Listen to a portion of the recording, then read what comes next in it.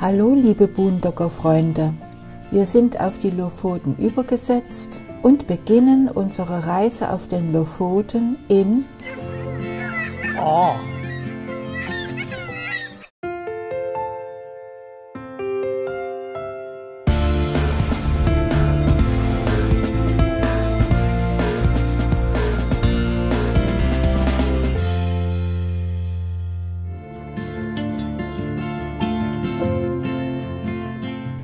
Was passiert den Boondockers in ein 100-Seelendorf mit ein, zwei Straßen? Ne, da mit Sicherheit nicht. Da sind wir ja hergekommen, oder? Aber guck mal, wir sind an dem Haus schon vorbeigegangen. Jetzt gehen wir da wieder vorbei. Das kann doch wohl nicht wahr sein. Na klar, sie verlaufen sich und suchen nun verzweifelt ihr Auto. Und das ist wieder mal so richtig typisch für uns.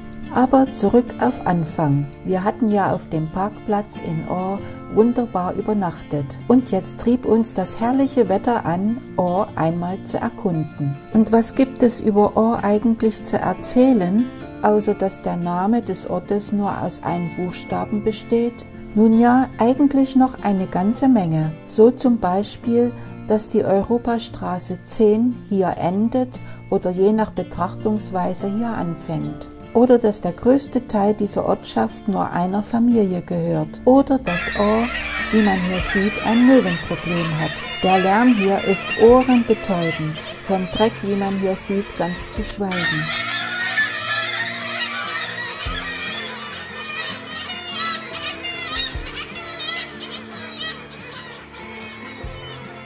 Und dann finden wir endlich das Objekt unserer Begierde in Form der historischen Bäckerei von Orr. Schließlich hatten wir ja noch nicht gefrühstückt. Und wir haben uns sagen lassen, dass es hier wohl die besten Zimtschnecken von ganz Norwegen gäbe. Und da wir die ersten Kunden waren, hatten wir in dieser warmen Bäckerei auch ein gemütliches Plätzchen für unser Frühstück gefunden. Und wisst ihr was? Der Geruch da drin war umwerfend. Jetzt mach mal die Tüte auf. Guck mal die.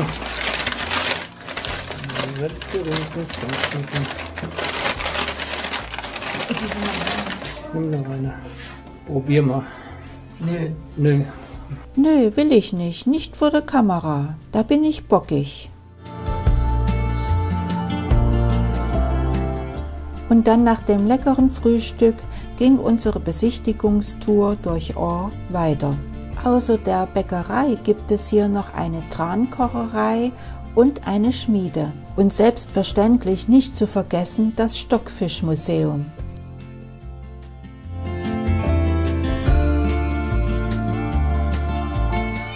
Und hier wird dem Stockfisch mal ins Maul geschaut. Norwegischer Humor. muss, muss auf die andere Seite gehen. Was für ein Scherzbold.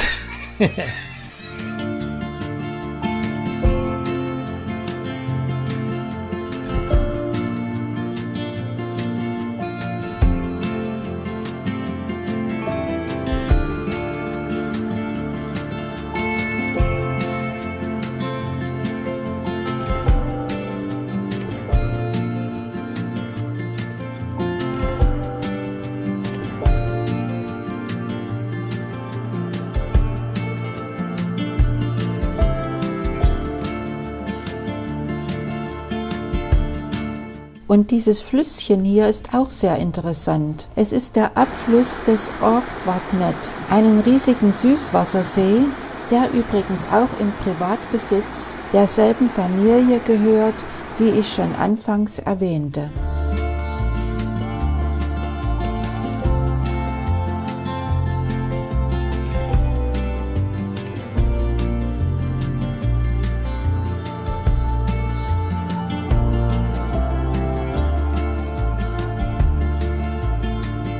Die öffentlichen Toiletten von Orr. Ist die Kennzeichnung von Männlein und Weiblein nicht goldig?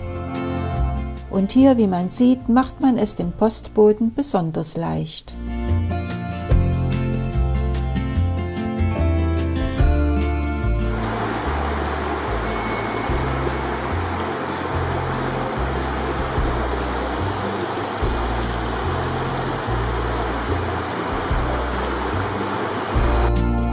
Wie es aussieht, gibt es hier einen gewaltigen Gezeitenhub. Demnach haben wir jetzt Ebbe. Ganz schön beeindruckend, oder?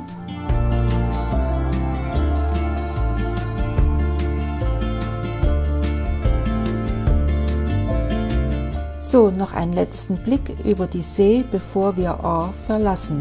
Schließlich gibt es noch eine ganze Menge zu entdecken. Und die Lofoten sind ein ziemlich langes Inselreich.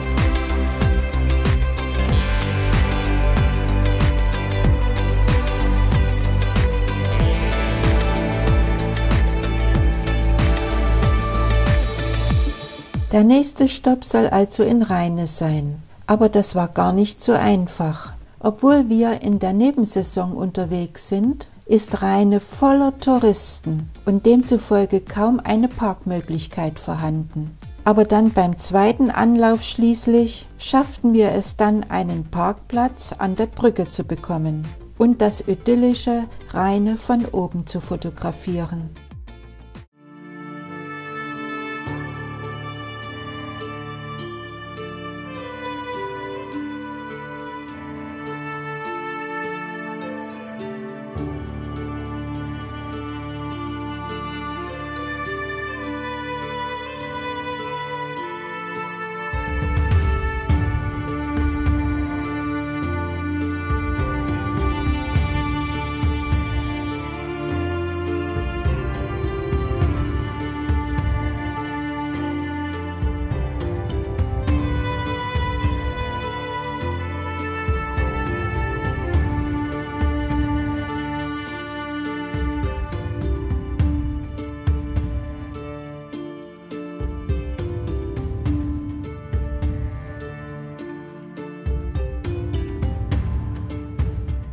Der nächste Stopp war Hamneu und auch da hatten wir das Glück, von der Brücke zu fotografieren.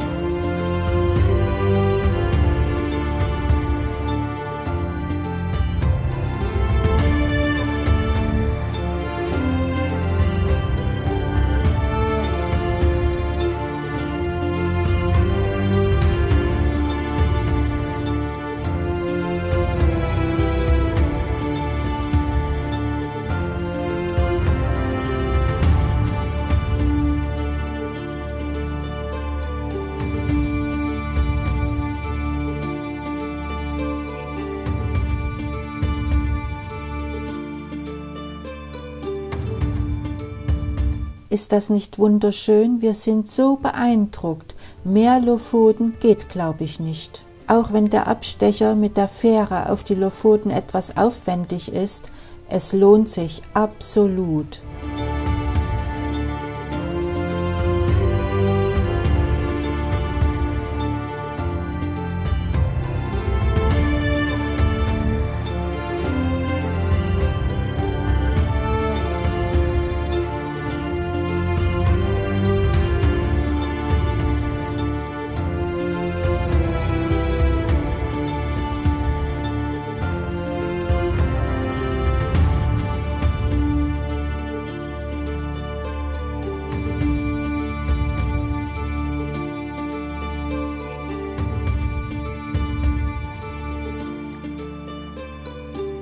Und schon wieder ist es soweit und wir müssen uns von einem wunderschönen Lofotendörfchen verabschieden.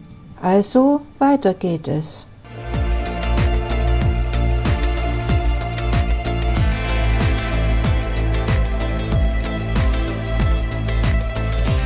Die E10 führt uns jetzt durch das Inland, hinüber auf die andere Seite der Lofoten. Die Seite also, die wegen des rauen Klimas wenig besiedelt ist. Und immer wieder müssen wir anhalten, um ein paar Impressionen jenseits und diesseits der E10 festzuhalten, wie auch hier auf diesem Rastplatz.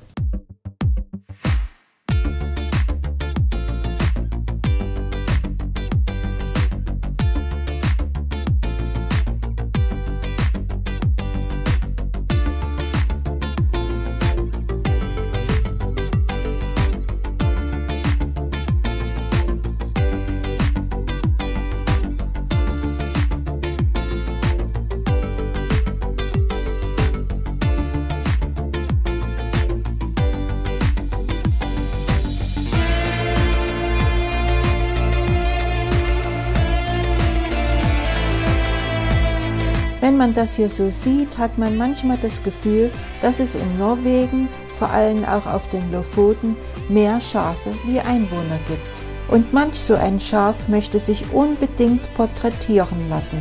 Also gern geschehen, Frau Zippe, so nennt man nämlich das weibliche Schaf. Noch ein Foto hier und noch ein Foto da und dann geht es schon wieder weiter.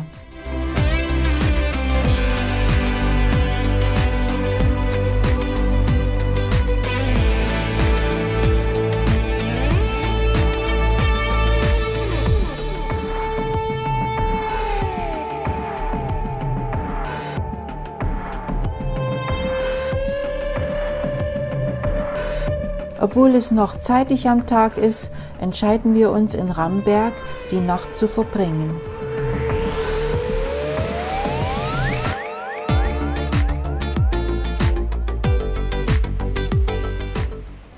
Wir stehen auf einem Campingplatz auf den Lofoten. Ramberg heißt der Ort. Heute ist Waschtag.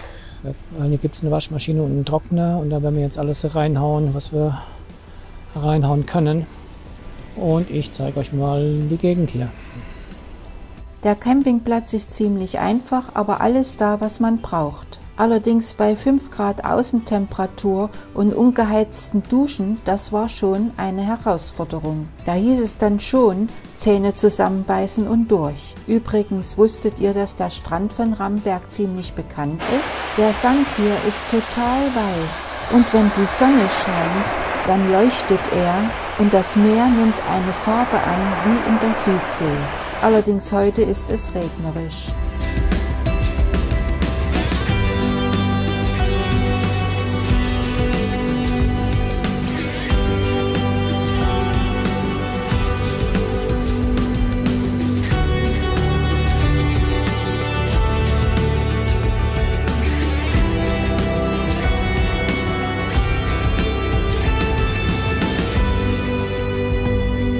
Nach einer herrlichen, ruhigen Nacht machen wir uns wieder auf die Socken.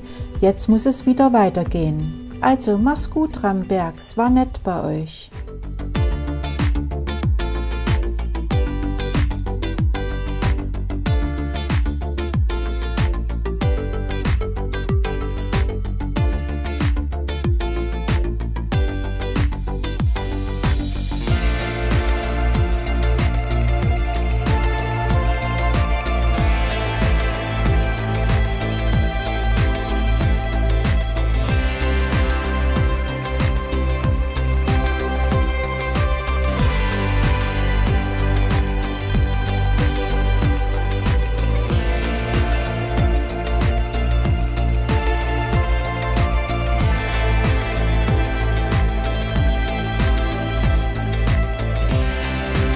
Nächster Stopp war Nussfjord.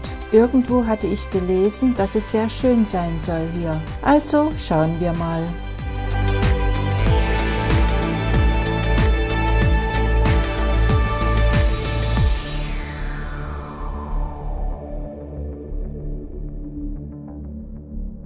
Jetzt schaut euch das an. Eine rosige Idylle hinterm Polarkreis. Das ist doch echt nicht zu fassen. Okay, Eintritt für den Dorfplatz und alles geschlossen? Nö, da finden wir andere Wege. Und wie ihr seht, haben wir die auch gefunden.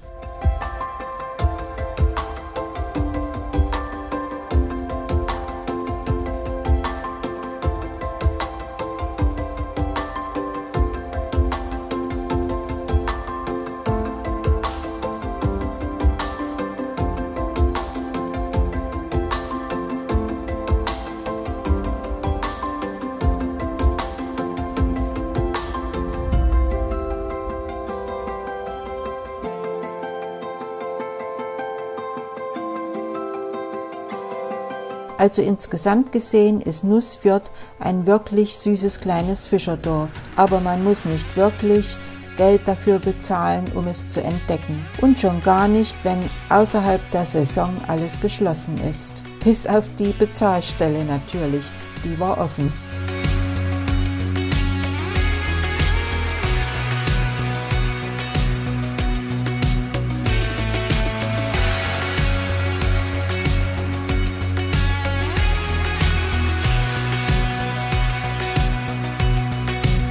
Seht ihr diese Gegend hier? Wir sind immer noch auf den Lofoten. Und hier sieht man, dass die Lofoten auch durchaus sehr sanft sein können. Mit Hügeln und Feldern durchzogen. Und einer von diesen Hügeln zog uns magisch an. Denn auf ihm stand ein ziemlich futuristisch aussehendes Bauwerk. Gemeint ist die Kirche von Burg. Sie ist rot-weiß gehalten und wurde 1987 fertiggestellt. Sie ist fast immer geschlossen, aber ihre exponierte Lage ist natürlich etwas ganz Besonderes. Gerade von hier oben hat man einen wunderschönen Ausblick über den teils lieblich anmutenden Teil der Lofoten. Und auf den angrenzenden Friedhof schauen die Verstorbenen auf einen schönen See.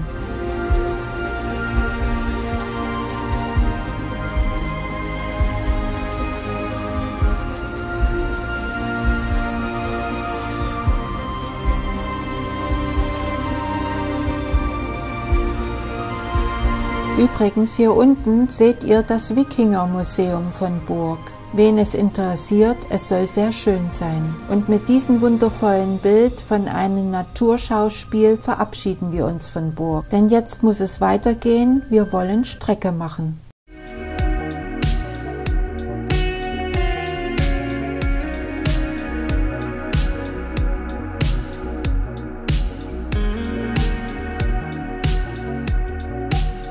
Kurze Pause auf diesen Rastplatz, hier gibt es auch Toiletten. Scheint ein guter Stellplatz für die Nacht zu sein. Aber nicht für uns, wir wollen weiter.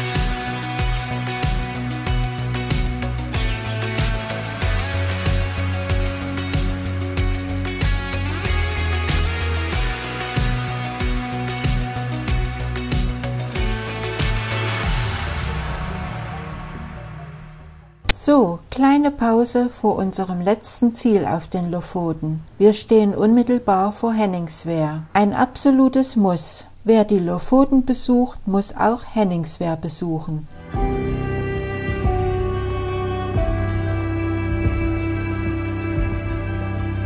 Und komischerweise, obwohl Henningswehr als ein Hotspot gilt, haben wir uns hier pudelwohl gefühlt. Von Massentourismus war eigentlich kaum etwas zu spüren, außer dass die Boutiquen eine ziemlich hohe Preisklasse hatten. Allerdings hat uns das auch weniger interessiert. Wir sind eingekehrt, konnten auf der Terrasse in der Sonne sitzen und das war wunderbar. Und dann sind wir weitergezogen durch Henningswehr. Und dreimal dürft ihr raten, wohin es uns jetzt zog. Ja klar, auf den Fußballplatz. Aufgrund seiner Lage hat er es zur Weltberühmtheit geschafft. Denn Henningswehr leistet sich einen Fußballplatz auf einer extra Insel. Und ganz ehrlich, sieht das nicht klasse aus zwischen den Scheren und den Fischgestellen? Das ist wirklich schon einmalig.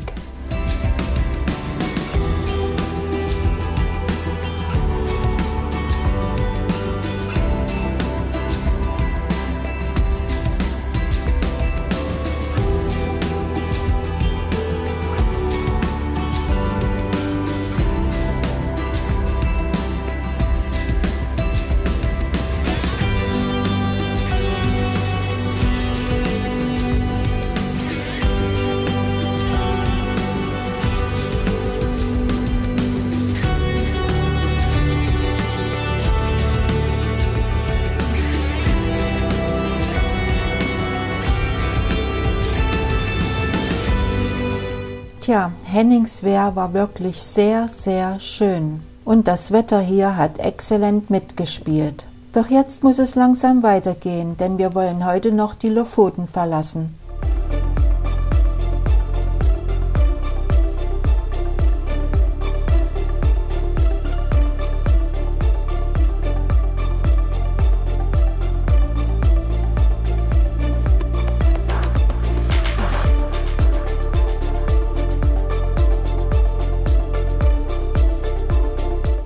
Der Überquerung der Tjelsundbrücke verlassen wir nun die wunderbare Welt der Lofoten und es zieht uns weiter immer Richtung Norden. Und wohin und wie es weitergeht, das erfahrt ihr dann im nächsten Teil. Übrigens, die Tjelsundbrücke wurde 1967 von König Olaf eröffnet und der Teil der E10 hier heißt auch König Olafs Weg. Der Sund hier war früher ein beliebter Handelsweg der Wikinger und später der Austernfischer.